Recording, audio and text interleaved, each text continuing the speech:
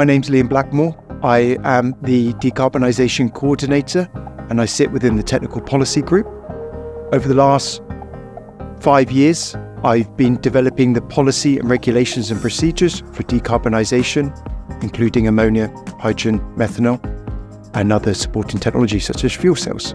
Ammonia is one of the most traded commodities globally at this time. It has the molecular structure of NH3, so it has no carbon, so we can reduce our CO2 emissions by implementing and utilizing this fuel within our industry.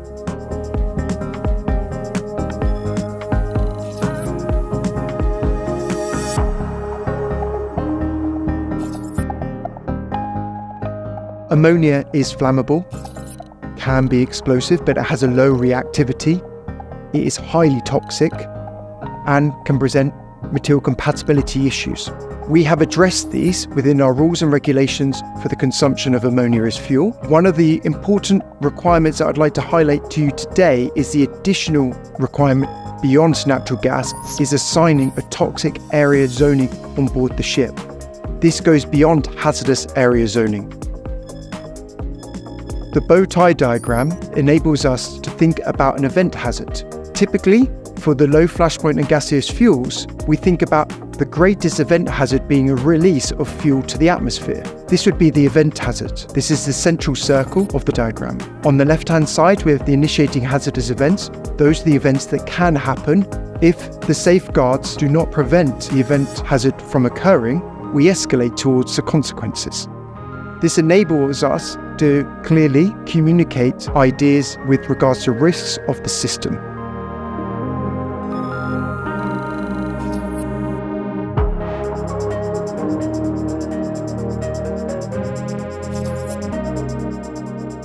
The safety implications of a toxic fuel being consumed on board the ship is exposure to humans and the aquatic environment to that substance itself. So, toxic exposure. It's the time domain that we have to consider. So, not only the absolute limit, but also the duration of that exposure. So, what we'd say is the dosage or the load. So, we have the concentration over the time. Our safeguards and mitigation are reducing the absolute concentration and reducing the time.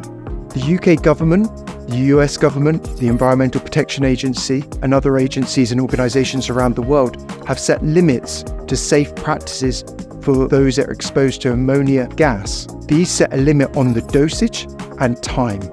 What's critical for us to understand in the marine industry is the absolute exposure of the parts per million that that human, the worker, the crew on board will be exposed to, but also the duration.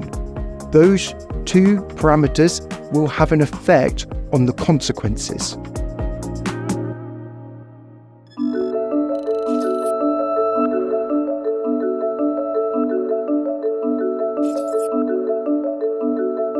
No, it's not possible to eliminate the hazards associated to ammonia fuel. They're inherent to the characteristics and behaviour. What we can do is apply philosophies such as inherently safer design, hierarchy of engineering controls, best practice, engineering judgment, and, as we do in our own rules and regulation, standardization. Inherently safer design focuses on elimination of the hazards or a reduction in the magnitude rather than controlling the consequences. Inherently safer design has the greatest impact during the initial stages engineers and naval architects have the greatest ability to implement inherently safer design during the design stage rather than at new construction, commissioning, or in service. Hence, early on in our projects, we need to ensure that we focus on trying to eliminate the hazards or reducing the magnitude. The hierarchy of engineering controls speaks to inherently safer design in the fact that we think about elimination, substitution, engineering controls, administrative controls, and PPE.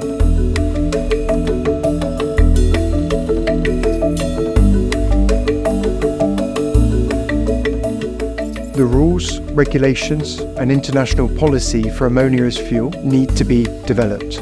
Risks for ammonia need to be managed not only by Lloyd's Register, but by the IMO, ship owners, and by society at large. This is going to be a pathway to maturity for everybody. At this present time, Lloyd's Register has rules and regulations for the consumption of ammonia as fuel. It is anticipated that the IMO will have their interim guidelines for the consumption of ammonia as fuel other than gas carriers developed at CCC 10 in 2024. And at present, IACS Safe Decarbonisation Panel has a working group developing unified requirements, interpretations, and recommendations. This is important. We do not want arbitration within the industry where the minimum level of safety is different within global regions, amongst class societies, and amongst flag administrations.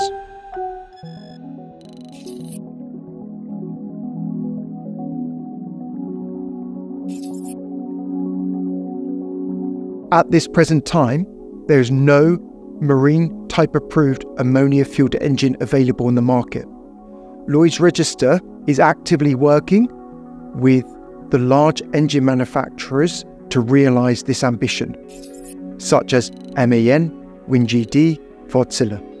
They have completed simulations, they have had single cylinder tests completed, and at this present time, they're developing their test facilities to run full scale validation testing of the engines. Until we have the full scale data from these tests, we will not understand the environmental impact, namely N2O and ammonia itself through slippage. When we think about the most significant hazard with ammonia, toxicity, and we think about the maintenance, operation, and inspection of that engine through life, not only do we need to understand the emissions from the engine, but also how are we going to safely enter the engine, inspect it, maintain it, and for us as Lloyd's Register, survey it.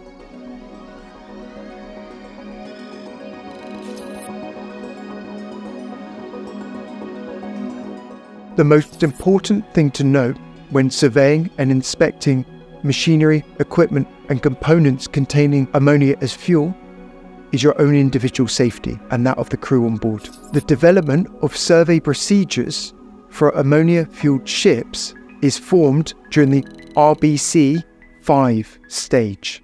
This shall be cognizant of the surveys being undertaken. During these surveys, the additional degradation, deteriorations that we have within the system will be corrosion, potentially stress, corrosion, cracking, the detection and alarm systems, increased rates of ventilation, the allocation of equipment and to ensure that change management has been completed in a transparent and approved manner. It's important to note for ammonia fueled vessels that we can draw on the existing experience that we have within the LR technical teams with surveying ammonia carriers. This will be important when we come to standardizing and developing our survey policy, our construction procedures, etc. During a survey, I would expect at this time the surveyor to have a greater emphasis and concentration on corrosion, on the safety systems applied, such as gas detection systems that are critical to mitigating the toxic load, to the ventilation, as we will be requiring increased rates of ventilation, or that the dilution of that ventilation is critical to achieve the necessary level of safety.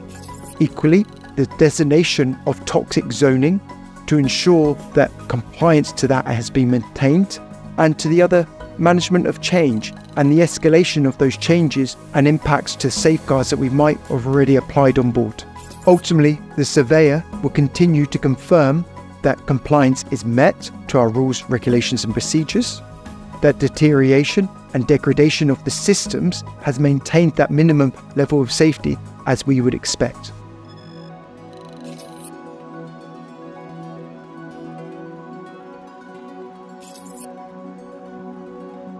As you correctly identified, ammonia is flammable, can be explosive, and is toxic.